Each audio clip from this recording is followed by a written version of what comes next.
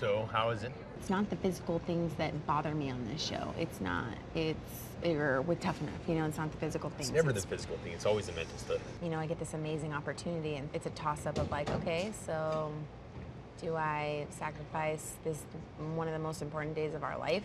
The only thing I ask is like think about what you're doing. I got you. Like, this is what you want to do. Let's do it. I'd rather be home and like planning our wedding like full force because it's like so close, you know, and it's like we're not doing it together, and Don't quit it now. If you get booted off because people don't like you, that's fine. so that's really just where I'm at right now. I think you'll crush it. If I was a chick, I would hate to fight you or wrestle you. All right, let's get out of here. I live. Ugh. Mm, we? Easy.